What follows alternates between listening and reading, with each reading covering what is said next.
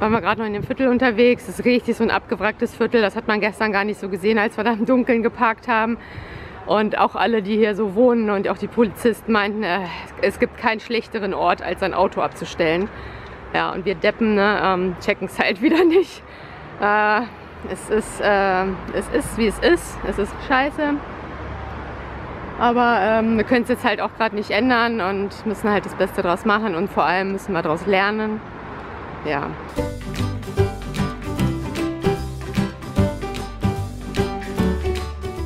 Buenos dias, Leute!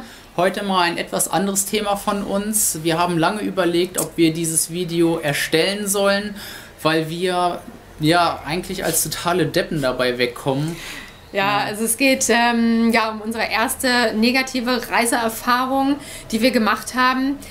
Aber natürlich gehört das genauso zur Reise wie all die schönen Impressionen, die wir euch sonst zeigen. Und deswegen wollen wir euch ähm, das jetzt auch nicht vorenthalten. Und deswegen geht es heute um unseren Einbruch in Barcelona.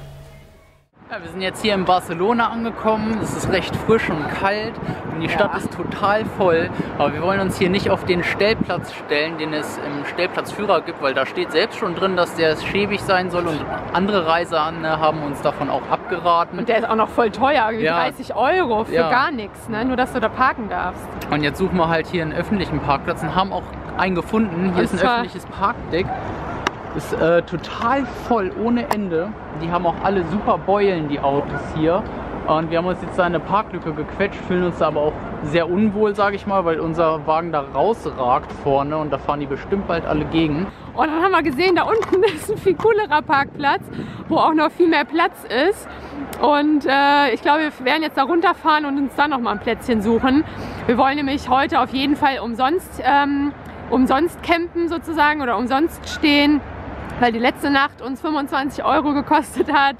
Und ja, wir versuchen das immer so im Wechsel zu machen, dass wir alle zwei Tage oder alle drei Tage eine warme Dusche haben und dann aber wieder umsonst stehen. Und ich glaube, dass da unten wird heute Nacht unser Lager werden.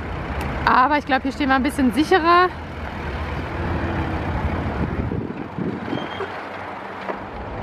Eigentlich sieht es ganz nett aus hier. Sieht ganz nett aus hier. Sieht ganz nett aus hier. So Leute, worst case ever. Unsere erste Nacht in Barcelona auf so einem unbewachten Parkplatz, dämlich wie wir sind, haben wir unser Auto hier abgestellt. So, jetzt ist es aufgebrochen. Die Fahrerscheibe ist eingeschlagen komplett durchwühlt. Ich weiß, man sieht es gerade nicht so gut, weil das Licht scheiße ist. Alles durchwühlt und ähm, das Schlimmste ist eigentlich, wir dachten zuerst, die sind nicht in die Kabine reingekommen. Sind auf jeden Fall hier durchs Rückfenster reingekommen, mit dem Schraubenzieher aufgebrochen. Guckt euch dieses Chaos an. Die haben wirklich alles, alles, jede Schublade, jede Klappe durchwühlt. Das Schlimmste ist, auf jeden Fall ist hier komplett meine Kameraausrüstung drin gewesen. Alles weg, alles, inklusive für alle Kameras, die wir dabei haben. Ladegeräte, Kabel, alles. Hier alles durchwühlt, hier rausgerissen. Liegt hier auf dem Boden. Alle Klamotten aus dem Schrank raus. Das komplette Bett durchwühlt, wo unser Laptop unter der Matratze lag. Ist weg. Richtig, richtig scheiße. Weil weißt du, wir wollten uns einfach nur einen einzigen Tag in Barcelona hier gönnen. Morgen eine schöne Stadtrundfahrt machen, uns alles angucken und heute Abend einfach nur noch, weil wir total fertig sind, ähm, ja, einfach nur gemütlich jetzt hier noch im Camper sitzen und uns gleich ins Bett legen. Und es ist einfach mal alles kaputt hier drin, kaputt. So dass wir jetzt, ja, keine Ahnung, Polizei rufen, wobei das wahrscheinlich eh nichts bringt und ja, dann uns ans Auf Aufräumen machen können. Ich könnte so kotzen. Ich meine, irgendwie sind wir auch selber schuld, ne, dass wir uns hier an so einen unbewachten Parkplatz stellen. Aber dass du einfach mal zwei Stunden in die Stadt gehst, um was zu essen und wiederkommst und das komplette Auto ist leer geräumt, das ist, das ist mal heftig.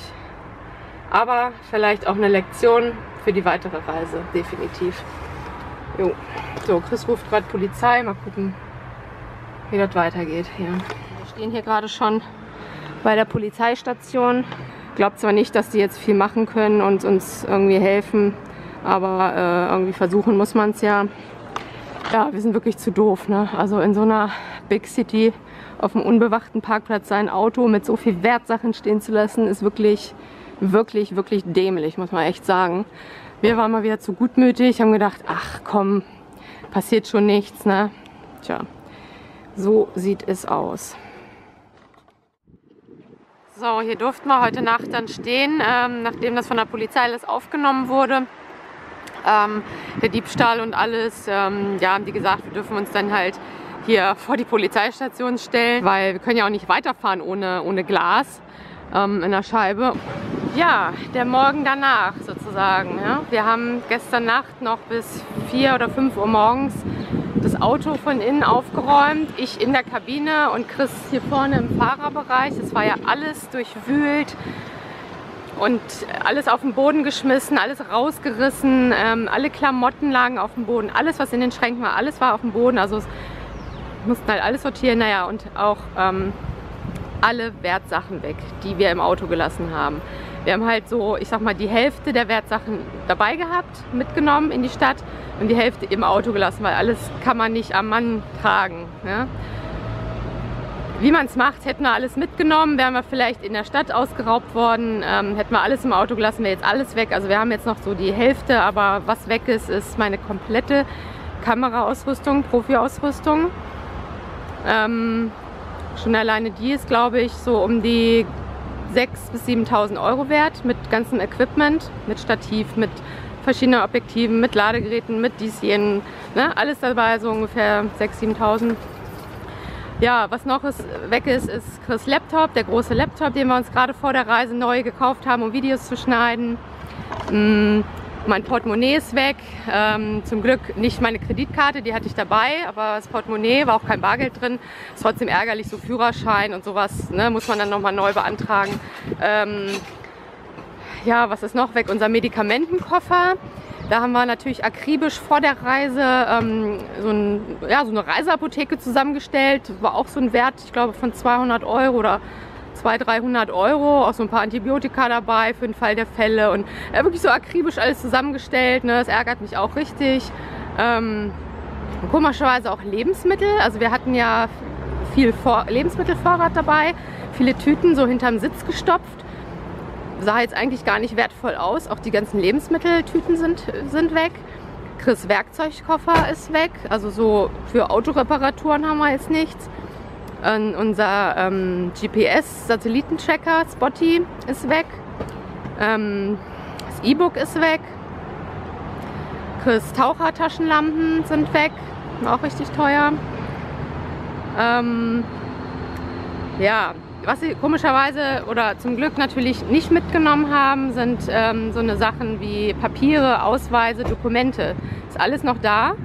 Weiß nicht, ob das Berechnung war, dass sie gesagt haben, ach, das lassen wir den armen schnuckeln mal oder ob sie einfach gar nicht interessiert dran waren. Auf jeden Fall ist noch alles da an Ausweisen und so. Also wir hatten ähm, teilweise natürlich auch am Mann, also dabei, aber ähm, alles Doppelte sozusagen im Auto ist noch da. Ähm, unsere Festplatten, ähm, wo wir unsere Daten drauf gesichert haben, sind noch da. Eine hatten wir auch mit und eine war im Auto, die haben sie da gelassen. Vielleicht auch gnädigerweise, ich weiß es nicht.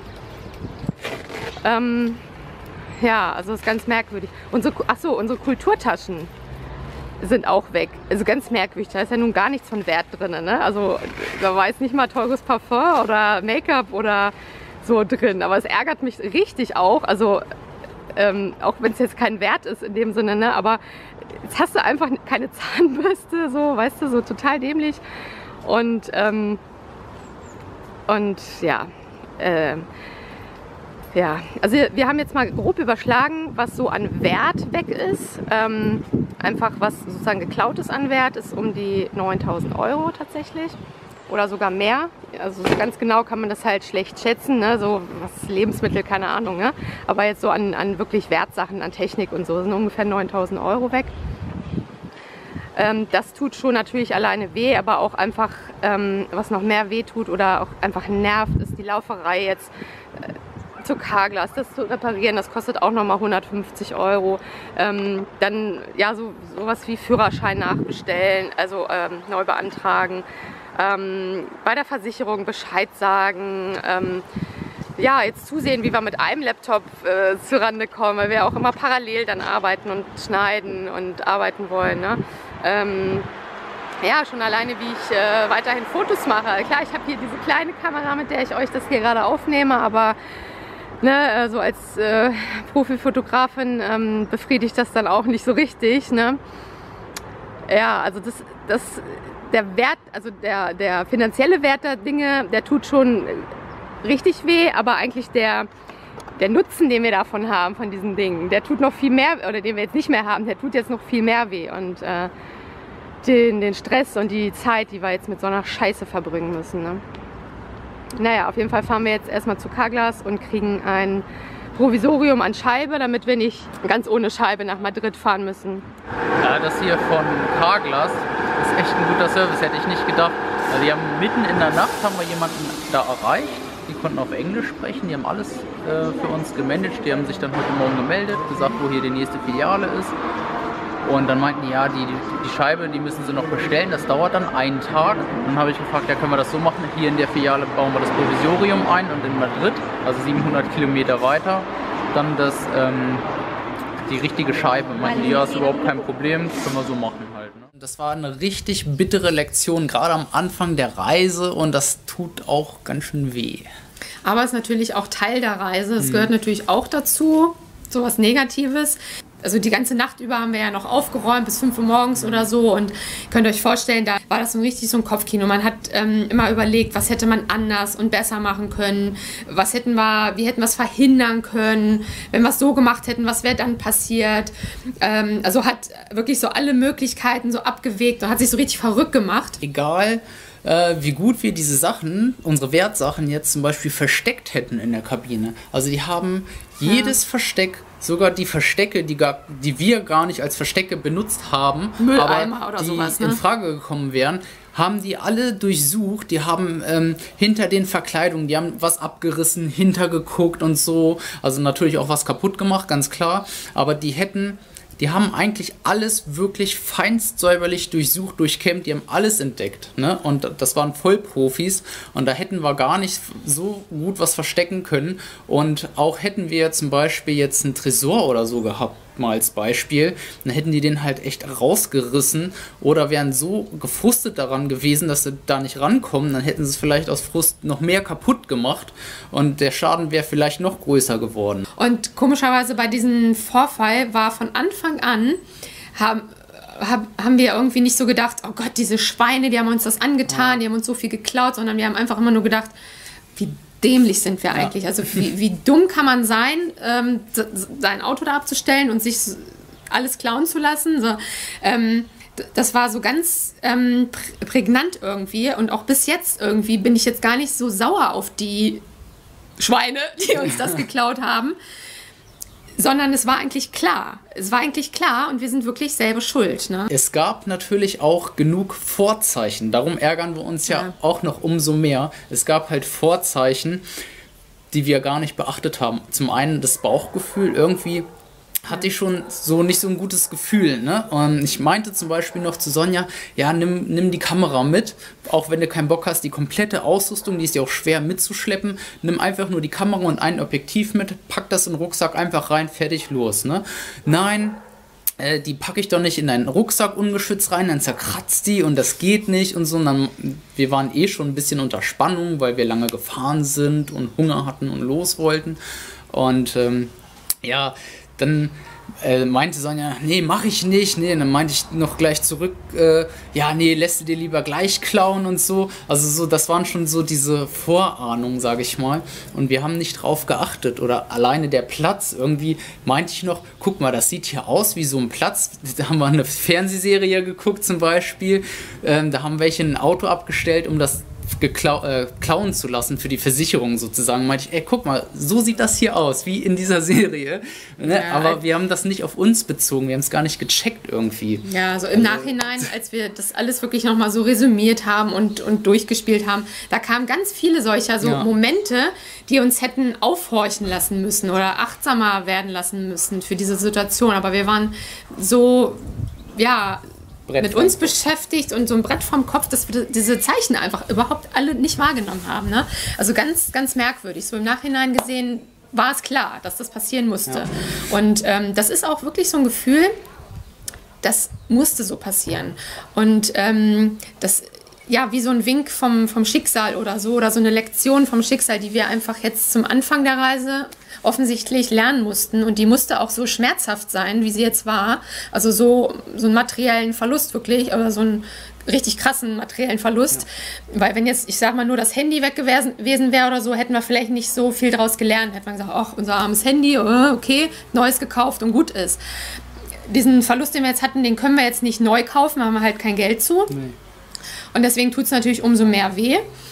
Ähm, aber wie gesagt, wir, wir mussten diese Erfahrung irgendwie machen. Ich glaube, einerseits, um eben klar daraus zu lernen und, und unsere Konsequenzen zu ziehen und eben auch, um uns in der Zukunft zu sensibilisieren, um mhm. uns vor Schlimmeren zu bewahren, weil schließlich hätten auch wir zu Schaden kommen können. Paradoxerweise, und das ist so der dritte Punkt, wo wir glauben, das sollte so passieren, und das hört sich jetzt wirklich paradox an, aber irgendwie fühlt es sich auch so an. Ähm, wir wurden so ein bisschen von Ballast befreit. Mhm. Von materiellen Ballast, der viel wert ist. Natürlich haben wir all diese Sachen, die wir dabei haben, nicht mitgenommen, ja, weil wir jetzt zeigen wollen, was wir für eine geile Kameraausrüstung haben, sondern weil es ja wirklich Arbeitsmaterial von uns ist. wir haben wirklich jedes Teil, was wir mit haben, weil wir wenig Platz im Camper haben, auch sorgfältig ausgewählt. Nehmen wir das mit oder nicht?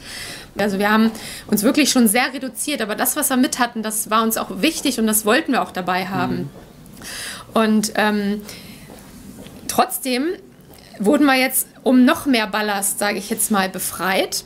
Das heißt, wir haben jetzt mehr Platz im Auto. Das hört sich jetzt voll doof an, aber irgendwie ist es halt so. Und wir wurden auch um halt, wie gesagt, diesen materiellen Ballast befreit, sodass wir jetzt, ja, ich muss jetzt zum Beispiel, wenn man es jetzt wirklich mal positiv sehen will, keine Angst mehr haben, dass meine Kameraausrüstung geklaut wird, ne? weil ich habe oh, keine mehr. Genau, ich wurde ja. äh, sozusagen von dieser Angst befreit. Ist ja. total paradox. Manche Sachen sind auch entbehrlich, zum Beispiel mein E-Book. Ne, das ist so nice to have. Ein E-Book ist ganz cool, nimmt keinen Platz weg, hast du tausend Bücher drauf. Aber es ist jetzt auch nicht so dramatisch, wenn es weg ist.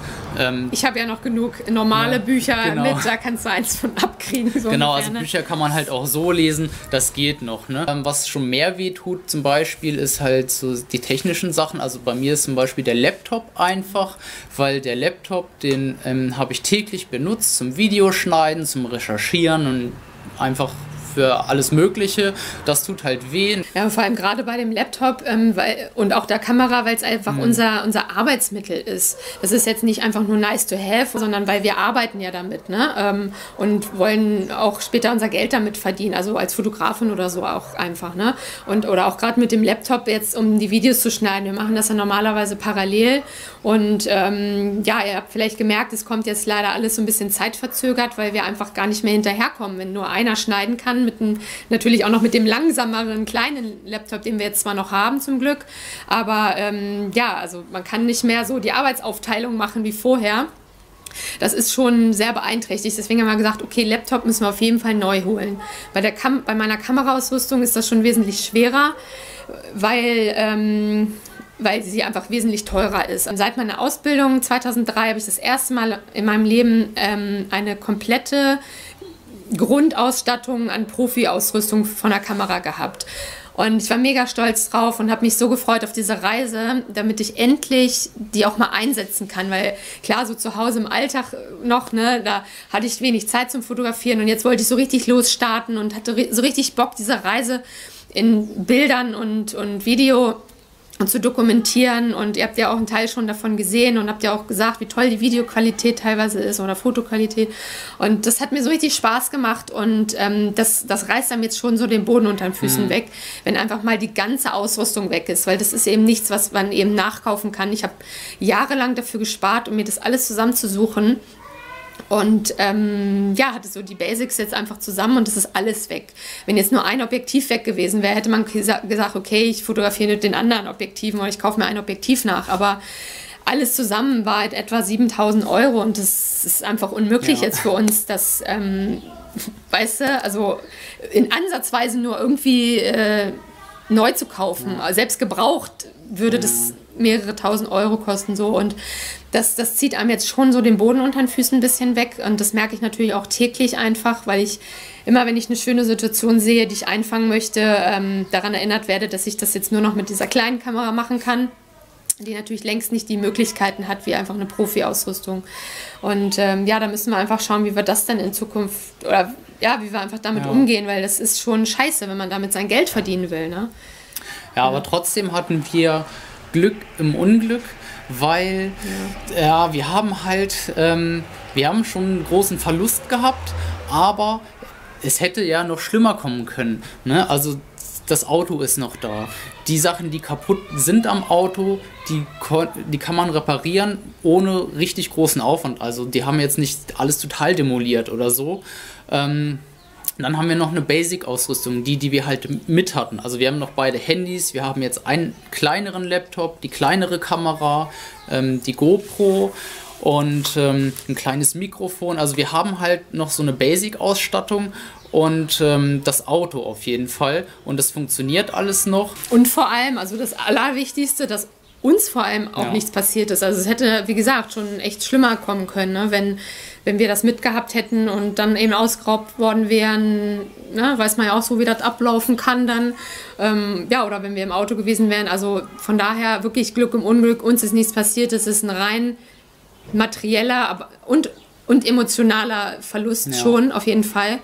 Also die Kamera ist ein, ähm, für mich zumindest, also nicht nur ein materielles Ding, was viel Geld kostet, sondern wirklich etwas Emotionales, weil ich ne, damit ja auch Impressionen einfangen fangen möchte und es einfach meine Leidenschaft ist. Also da hängen schon Emotionen auch dran. Ja, wir möchten uns jetzt aber nicht nur auf die negativen Aspekte konzentrieren und gerade der negativen Energie so viel Raum geben und Aufmerksamkeit schenken, weil dadurch ähm, gelangt man nur zu Verbitterung und das bringt einfach gar nichts. Eigentlich versuchen wir wirklich, auch wenn es einen immer mal wieder so berührt oder so, wirklich auf die positiven Sachen zu, ähm, zu konzentrieren und eben auch was wir auch nicht machen wollen, ist uns sozusagen so angsterfüllt jetzt weiterzureisen. Also wir merken das zwar jetzt teilweise wirklich auch schon, dass wir ja schon so eine gewisse Angst haben. Wir gucken zum Beispiel jeden Tag, wir sind jetzt hier in der Ferienwohnung, eigentlich ja sicher, ne? Aber trotzdem, wenn wir weggehen, ne, schließen wir doppelt ab, machen die Rollläden runter, verstecken unsere Wertsachen, gucken jeden Tag, ob unser Auto noch vor der Tür steht oder nicht, ne? Also so, das ist schon so drin, das sitzt irgendwie schon ja. ganz tief irgendwie. Aber wir versuchen da, ähm, wie soll ich sagen, ja, eine gesunde Balance zu finden zwischen einerseits natürlich äh, vorsichtiger zu sein, sensibler zu sein, aber eben auch nicht so ängstlich und skeptisch und pessimistisch jedem und jeder Situation gegenüberzutreten, weil dann darf man nicht reisen. Wenn man, wenn man alles nur negativ sieht und jedem misstraut, dann, dann darf man einfach nicht reisen, weil dann, dann hat das keinen Sinn. Ähm, sondern wir wollen trotzdem auch offen offen noch auf Leute zugehen ja. und, und auch vert Leuten vertrauen. Ne? Ja. Aber wie gesagt, einfach jetzt ein bisschen achtsamer. Mehr auch auf unser Bauchgefühl hören. Ja, das ist auch ganz ja. wichtig, dass wir in Zukunft einfach den Platz, wo wir uns hinstellen, also den Stellplatz natürlich besser aussuchen. Ja. Also nicht das Erstbeste nehmen, was kostenlos ist. Klar, man kann immer auf einen Campingplatz fahren, der bewacht ist, der, der relativ sicher ist, auch wenn da mhm. natürlich eingebrochen werden kann. Aber wir wollen nicht jede Nacht für Unterkunft bezahlen oder für einen Campingplatz. Wir wollen uns auch schon mal so kostenlos irgendwo hinstellen, weiterhin. Mhm. Aber dass wir da den einfach äh, gezielter aussuchen, wo wir uns hinstellen. Also jetzt nicht unbedingt in eine Metropole auf einem unbewachten Stellplatz in einem Ghetto. ja. Oh Gott, ärgert mich immer noch oh, über. Egal. sondern einfach dann ne, irgendwo privat, dass man fragt, Mensch, können wir, euch, können wir uns bei euch hinstellen auf dem Bauernhof, auf dem Hinterhof, ja. wenn man ne, jemandem vertraut, dass man sagt, Mensch, kannst du mal ein Auto, äh, kannst du mal ein Auge auf unser Auto haben und da aber wie gesagt auch achtsamer einfach so zu sein für die für die Situation. Ne? Dann natürlich auch, ähm, ja, was unsere Wertsachen betrifft, äh, ja, die natürlich jetzt nicht im Auto zu lassen, weil wir haben ja auch gemerkt, die haben ja so viel oder so alles durchwühlt. Auf jeden Fall bringt es nichts, die Sachen im Auto zu lassen, ähm, sondern werden ja, den größten Teil auf jeden Fall immer mit am ja. Mann haben. Äh, jetzt haben wir ja eh weniger, das heißt, müssen nicht mehr auf so viele Sachen ein Auge haben. wir wollen uns auf jeden Fall auch ähm, in Zukunft mit einer Alarmanlage sichern. Hm. Klar, das hätten wir ja schon vor der Reise am besten getan. Wir haben zwar schon mal mit, der, mit dem Gedanken gespielt, uns eine Alarmanlage zu holen, haben dann aber gleich gesagt, nee, es kostet ein paar hundert Euro, das haben wir jetzt nicht, stecken wir lieber in die Reise. So, jetzt sieht man, ja. was mal rausgekommen ist. Vielleicht hätte das was gebracht, vielleicht auch nicht. Ich weiß es nicht. Auf jeden Fall haben wir uns jetzt gesagt, ähm, wir werden uns eine kaufen. Auch wenn das jetzt vom Budget her leider ganz, ganz schwierig ist und wir mhm. natürlich da abwägen müssen, Kosten, Sicherheit. Aber wir haben gesagt, ähm, das ist es uns jetzt einfach wert und wir schauen da einfach jetzt nach einer, die, die passt. Noch eine Konsequenz, die wir jetzt so ziehen, ist, ähm, oder die Lektion, die wir gelernt haben, klar sicherer, äh, vorsichtiger zu sein, aber eben das jetzt auch nicht als, als Dämpfer zu sehen und, äh, und als was Negatives, was uns runterzieht, sondern eigentlich als, als etwas Positives, weil wir etwas lernen durften auf dieser Reise ähm, vielleicht, wie gesagt, vor Schlimmerem bewahrt werden. Und ähm, so möchten wir das auch sehen hm. und als Erfahrung abhaken. Ja, und so möchten wir jetzt auch dieses Video positiv beenden. Wir wollten euch teilhaben lassen an dieser negativen Erfahrung, weil das auch ein Teil unserer Reise ist. Aber ihr braucht euch keine Sorgen machen, uns ist nichts passiert, uns geht's gut. Mittlerweile wieder, wir haben uns nämlich auch einfach bisschen abgelenkt, muss ich sagen. Also wir sind ja dann direkt weitergefahren nach Madrid. Mhm. Und klar, da kreisten die Gedanken immer noch um dieses Thema, auch weil wir ja nochmal die Scheibe auswechseln lassen mussten und so weiter und so fort. Aber wir haben dann ganz bewusst entschieden, hey, wir lassen uns jetzt unsere Reise und auch den Madrid-Aufenthalt nicht versauen durch diese ja, Scheiße, genau. sondern haben dann wirklich ganz bewusst ein ähm, bisschen versucht abzuschalten und haben uns in Madrid wirklich zwei wunderschöne Tage gemacht. Ganz besonderes Highlight, wir haben... Ja eine Abonnentin, die Greta, getroffen in Madrid. Schöne Grüße übrigens, Greta. Ähm, und Greta hat uns äh, eine Privatführung durch Madrid äh, geschenkt und uns war mit uns lecker vegan essen. Ja, also es äh, war wirklich ein Highlight nach diesem Schock. War das, war das so schön einfach in Madrid und das hat uns wirklich so ein bisschen abgelenkt. Und ähm, ja, die äh, Impressionen aus Madrid, die zeigen wir euch dann tatsächlich auch im nächsten Video und dann auch, wie wir hier in Vejer in Südspanien dann endlich angekommen sind und äh, berichten euch natürlich dann demnächst auch, wie es hier so ist und was wir hier so alles machen. Deswegen, wie gesagt, macht euch keine Sorgen um uns. Ähm, lernt vielleicht aus unseren Erfahrungen oder vielleicht seid ihr auch einfach schon schlauer und ähm, dann schreibt uns mal eure Tipps. Vielleicht habt ihr ja auch mal Erfahrungen, bittere Erfahrungen gemacht, aus denen ihr gelernt habt. Ähm, teilt das gerne mit uns. Vielleicht bewahrt uns das vor dem einen oder anderen ähm, Un Unglück. Ja, demnächst, wir werden ja noch ein bisschen länger unterwegs sein. Teilt uns das gerne in den Kommentaren mit. Wir freuen uns sehr über euer Feedback. Ja. Ja, und dann würden wir sagen, bis zum nächsten Video. Wir, wir sind, sind, weg. weg.